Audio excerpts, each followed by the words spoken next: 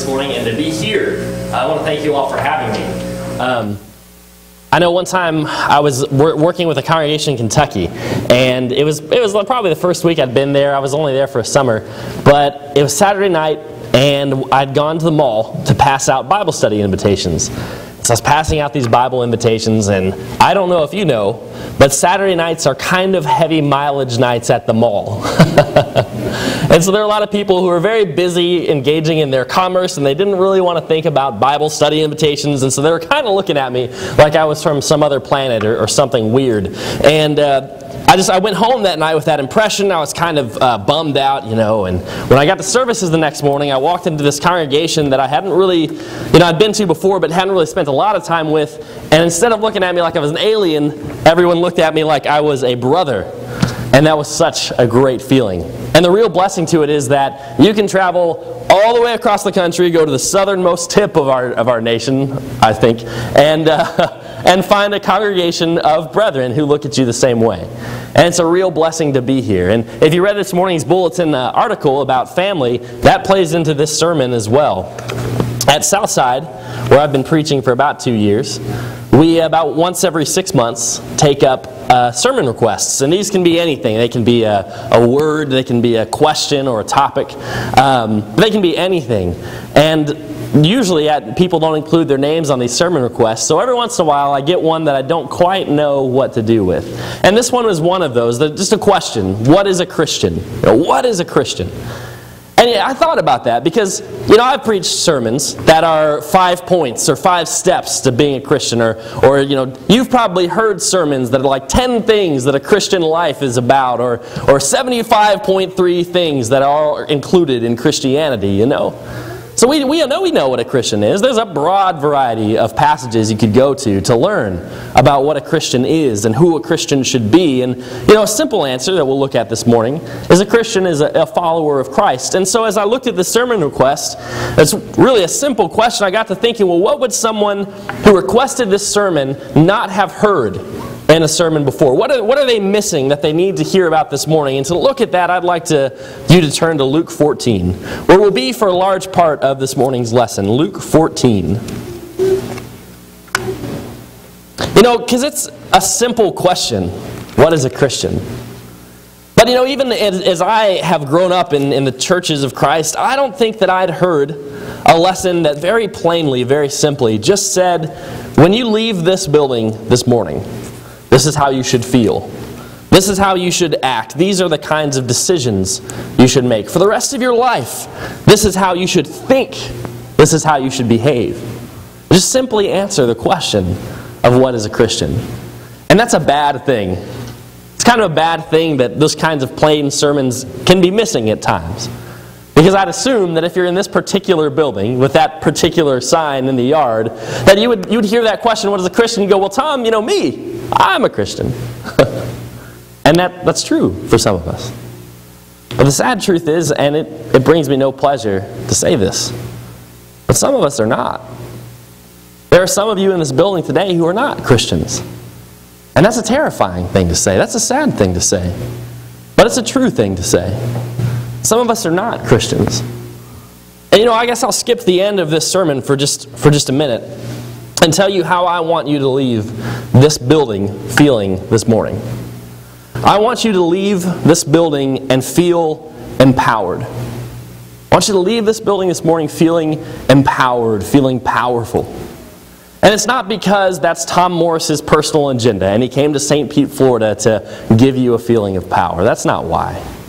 And it's not because any one of us deserves power, because only God deserves that kind of feeling, that real feeling of empowerment. But I want you to leave this building this morning feeling empowered because that's how Jesus said a Christian should feel. You know, in John chapter 8 and verse 31, he said to some Jews who believed in him, If you abide in my word, if you abide in my word, you are truly my disciple. And again, there's our our easy definition for a Christian. Someone who abides in Christ's word, someone who, who follows Christ as his disciple. But he didn't just end there. He didn't just stop there. 32 comes next. He says, If you abide in my word, you are truly my disciple, and you will know the truth. Isn't that a blessing in itself? Amen. There are so many people who spend their lives truly believing that there's no such thing as truth. There's no such thing as real truth. it's relative. Everybody gets their own take on the truth.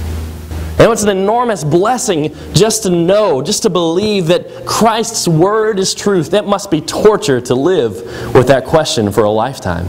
And we don't have to suffer that torture. And the reason it's so torturous is because what Christ says next in verse 32 and you will know the truth, and the truth will set you free. It will set you free. And if you never know the truth, you never know that freedom. And that's a beautiful, beautiful, empowering thing. Just think about freedom. You know what? I don't know, but the first thing that pops into my mind is our nation. We live in a nation where freedom is, is the greatest of virtues. You know, freedom is what it's all about. And you know, we might think what the, what the Jews in that context thought. They thought, we are children of Abraham. We've never been slaves to anyone, which of course was not, was not true. But we might think, well, you know, what, what really are we slaves to? And in that, again, in that context, Christ makes a deeper, a deeper application. You're a slave to sin or a slave to righteousness, and clearly you'd like to be a slave to righteousness. That will get you to heaven. But you know, we don't even we can even take it and be purely physical and still understand that we need freedom. You know, for, for example, let me give you a couple examples. I, I would guess that most of the people here have some form of employment, or at least have experience with having a job at some point. You know, some kind of job. And you may have loved your job. You may still just love your job. It might be the best job you've ever had. But aren't there days, maybe even just minutes of days when you're just like, oh, I can't stand this job. Oh, I want to quit this job today. You know, the truth can set you free from that. When you think about peer pressure, most of us think that peer pressure, that ends in middle school, right? But you know, anybody with, with uh, children or parents or brothers or sisters or any kind of family knows that there's times when your family or your friends try to, try to convince you to do something you may not want to do. Maybe something that's wrong. They influence you to do something that you just disagree with or aren't, aren't particularly excited about. Sometimes maybe you, your family drives you a little bit crazy. You know, the truth can set you free from that.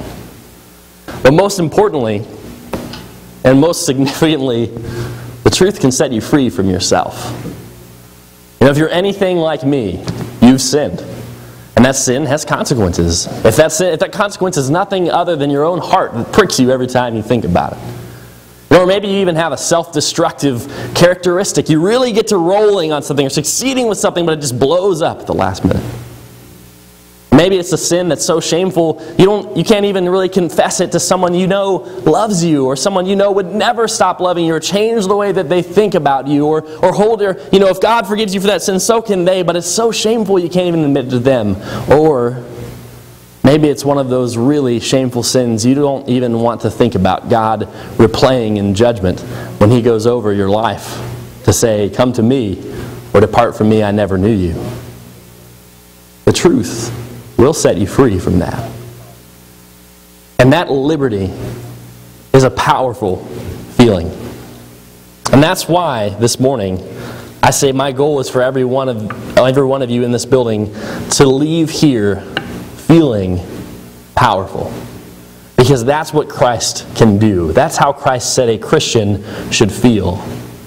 But before we get to the power, before we get to the liberty, we have to go over the scary part, and that's what comes in Luke 14.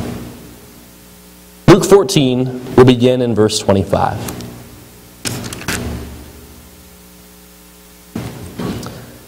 And verse 25 has a phrase that we'll come back to at the end of the lesson.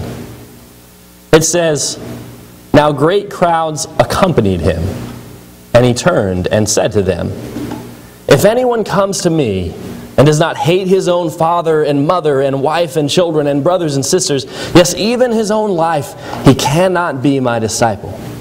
Whoever does not bear his own cross and come after me cannot be my disciple. For which of you, desiring to build the tower, does not first sit down and count the cost, whether he has enough to complete it? Otherwise, when he's laid a foundation and is not able to finish, all who see it begin to mock him, saying, This man began to build and was not able to finish. Or what king going out to encounter another king in war will not sit down first? Thank you. And deliberate whether he is able to meet him who comes against him with 20,000 with 10,000. And if not, verse 32, while the other is yet a great way off, he sends a delegation and asks for terms of peace. So therefore, any one of you who does not renounce all that he has cannot be my disciple. Now, this is a surprising passage. It seems to go against a lot of what Christ teaches. And it's, it's also surprising just because the general structure. This passage is worded negatively. Did you notice that when you read it?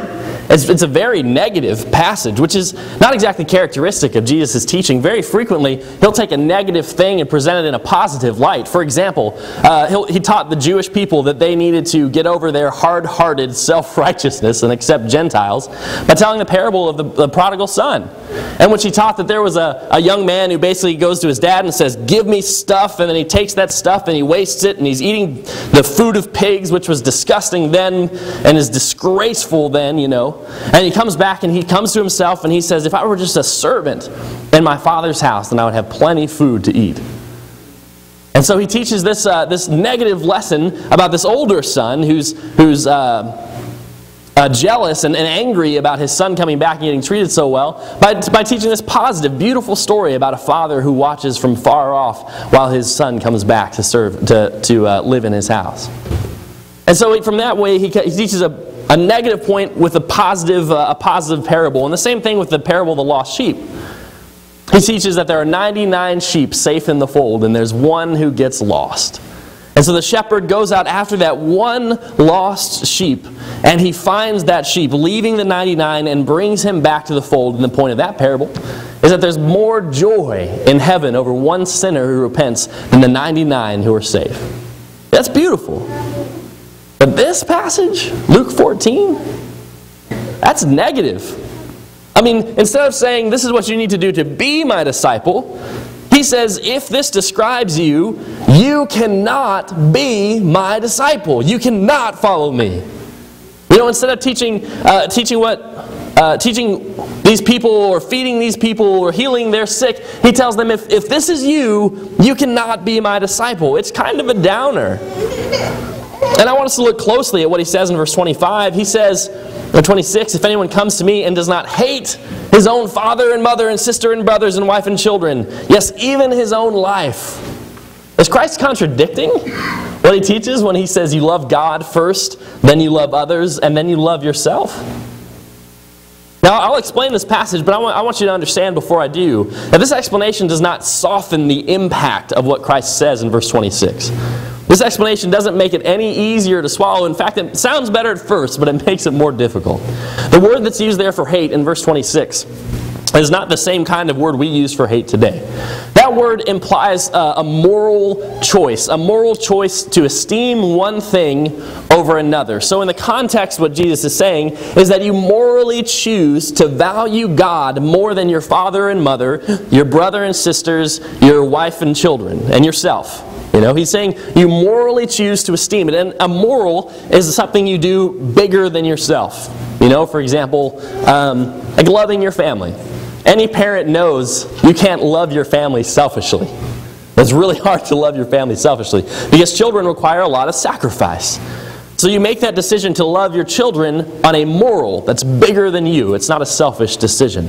So this morally choosing to esteem something over another thing. And of course, that something is God over father and mother, brother and sister, and self.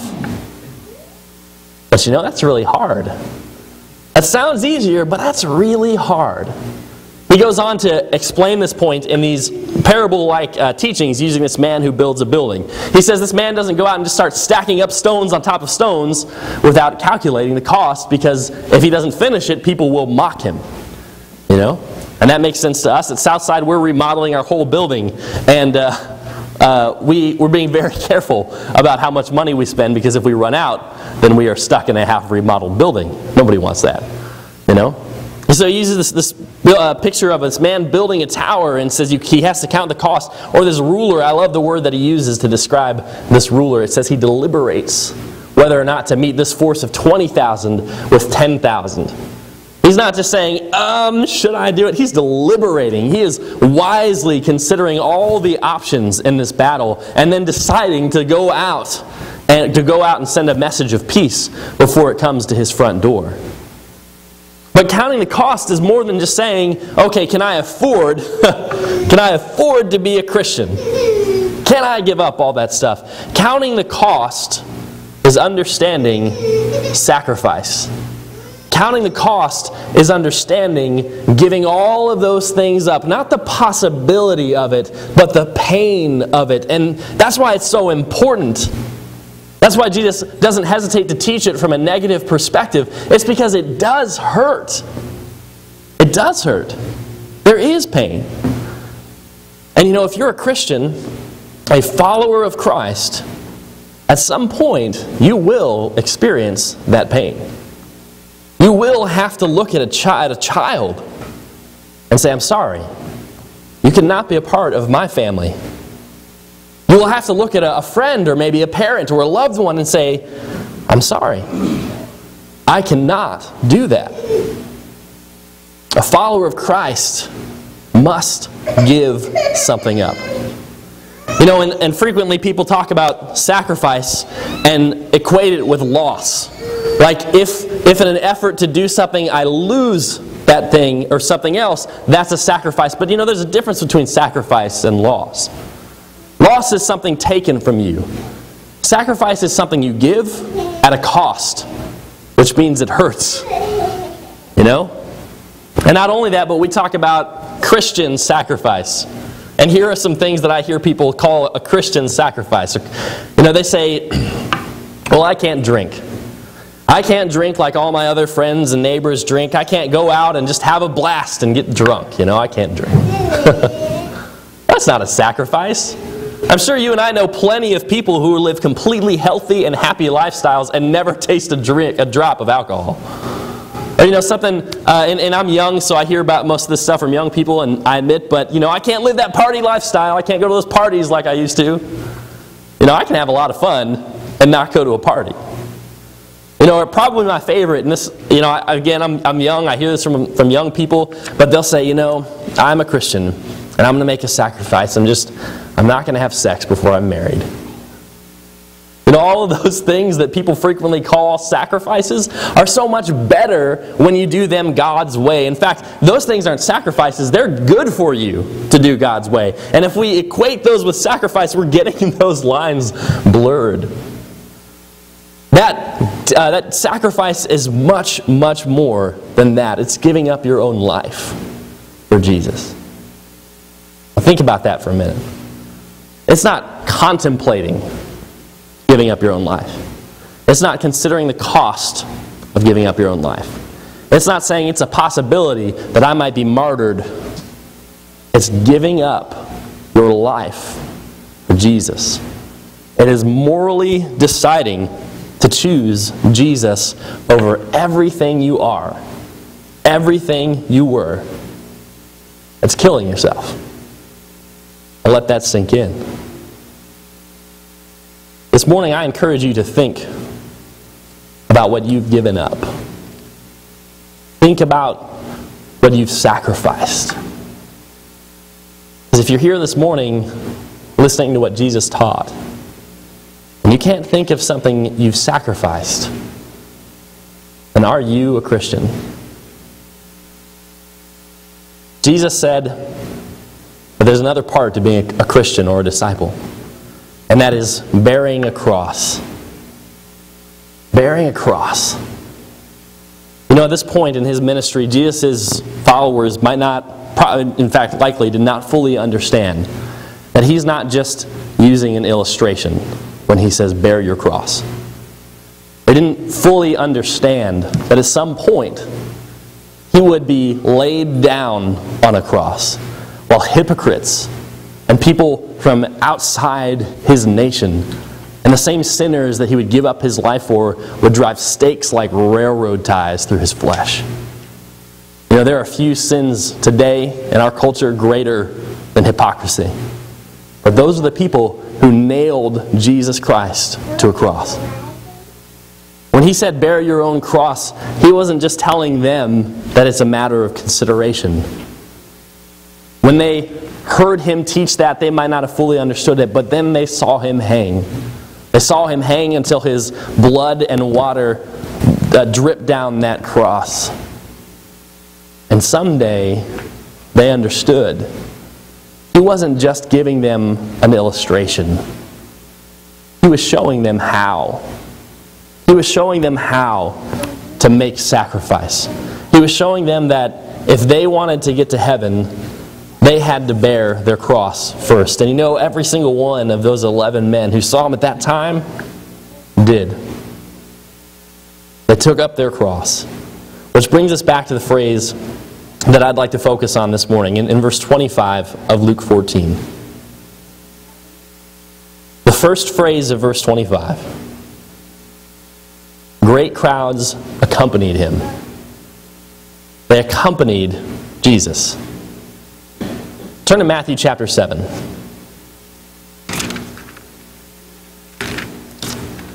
And verse 13.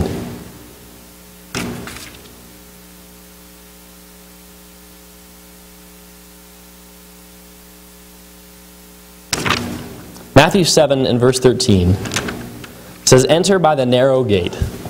The gate is wide and the way is easy that leads to destruction, and those who enter it are many. For the gate is narrow and the way is hard that leads to life, and those who find it are few. And see, that's what he's teaching in Luke 14.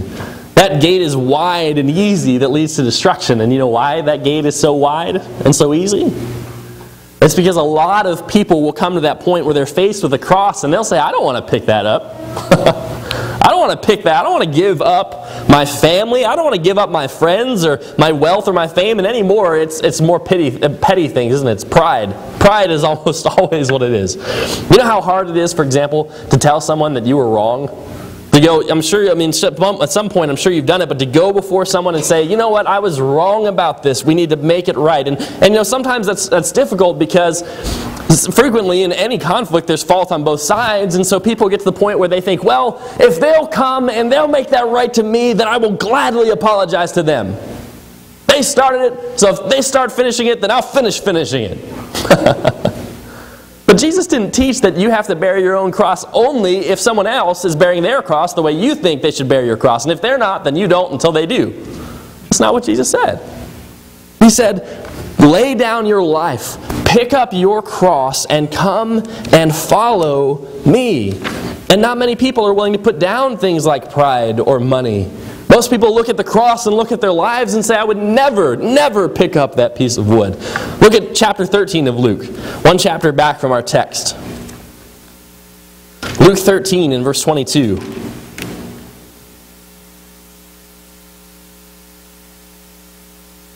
They ask him a specific question. Went on his way through towns and villages, teaching and journeying toward Jerusalem. Verse 23 says, And someone said to him, Lord, will those who are saved be few? And he said to them, Strive.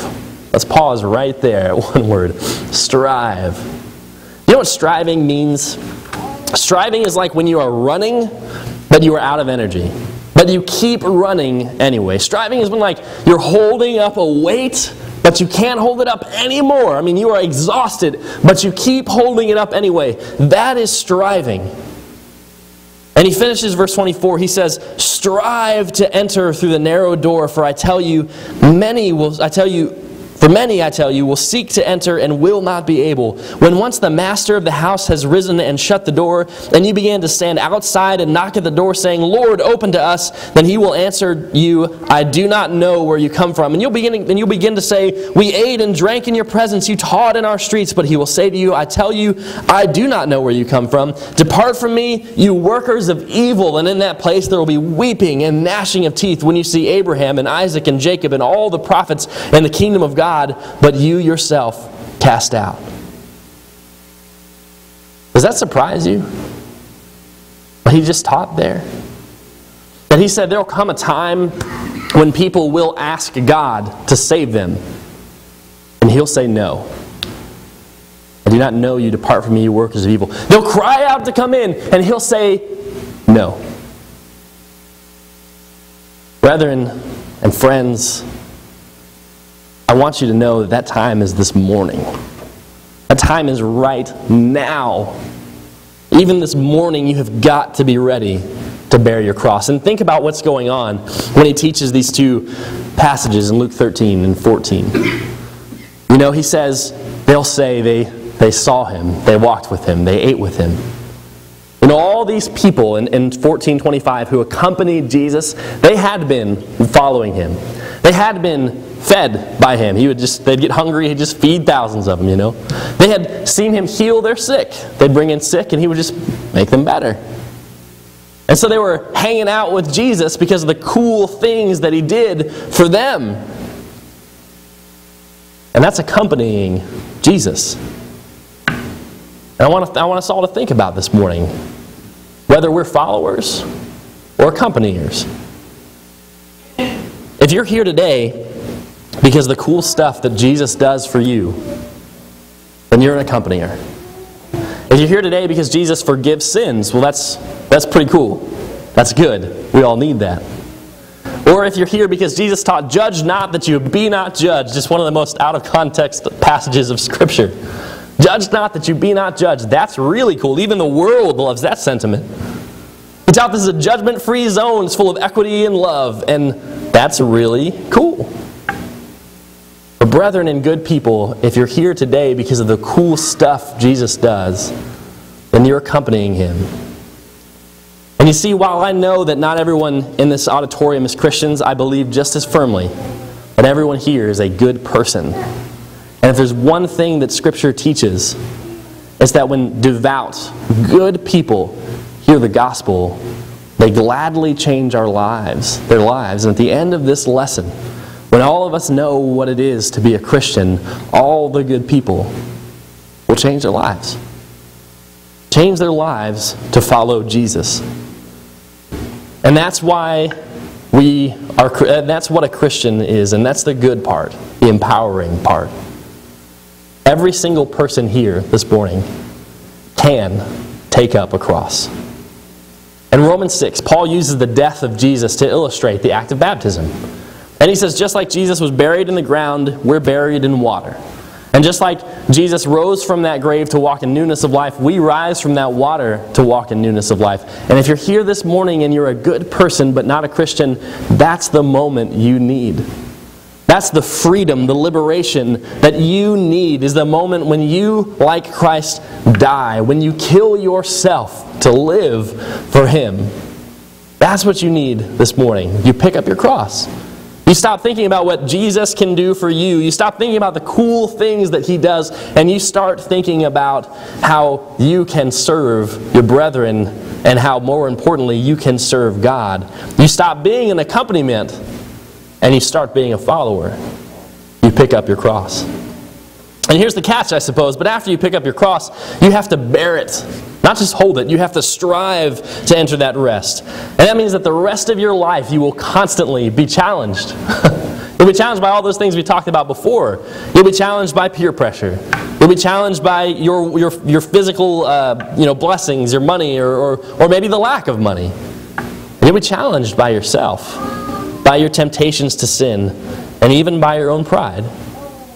And so you might be here this morning and you had once picked up a cross, but along the line you set it back down. Good Christian, we encourage you to pick your cross back up. Confess a sin, ask for prayer, talk to someone you need to make something right with, but pick your cross up. It has no business being on the ground. Crosses were meant to be raised, not lay on the ground. And if you're here this morning and need to pick up your cross, then we invite you to do so while we stand and sing.